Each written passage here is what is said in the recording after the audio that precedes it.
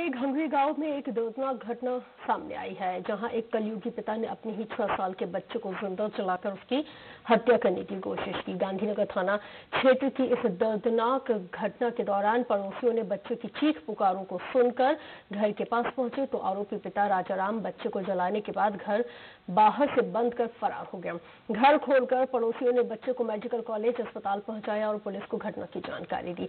बताया जाता है कि आरोपी छह महीने पहले अपनी पूर्व पत्नी से बेटे को लेकर आया हुआ था।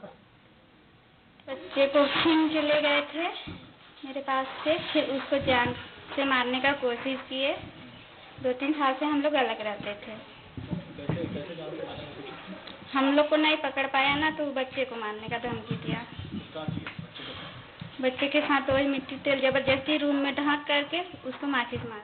हाँ ये पंकज की माँ बताई कि इसका पति बच्चे को मिट्टी तेल डाल के जला दिया है और कमरे में बंद कर दिया था। पड़ोस के लिए इसको चिल्लाने की आवाज़ सुनी है बच्चे का तो उसको खोल के बाहर निकाले हैं और उसकी माँ को खबर दिए हैं। अभी उसकी माँ मेडिकल कॉलेज अस्पताल में भर्ती करके इलाज करा रहे हैं।